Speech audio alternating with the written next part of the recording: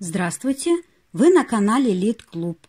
Читаем рассказ Михаила Михайловича Зощенко «Глупый вор и умный поросенок».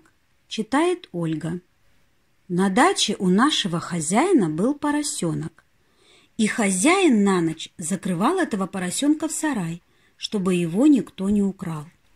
Но один вор захотел все-таки украсть эту свинку. Он ночью сломал замок, и пробрался в сарай. А поросята всегда очень сильно визжат, когда их берут в руки, поэтому вор захватил с собой одеяло.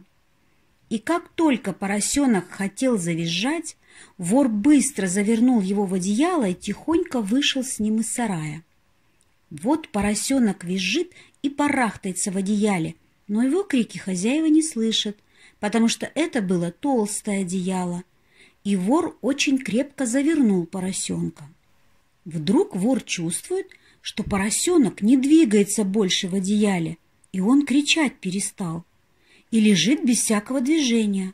Вор думает, может быть, я очень сильно закрутил его одеялом, и, может быть, бедненький поросенок там задохся? Вор развернул поскорей одеяло, чтобы посмотреть, что с поросенком, а поросенок как выпрыгнет у него из рук, да как завизжит, как бросится в сторону. Тут хозяева прибежали, схватили вора. Вор говорит, «Ах, какая свинья этот хитрый поросенок! Наверное, он нарочно притворился мертвым, чтобы я его выпустил. Или, может быть, он от страха упал в обморок?»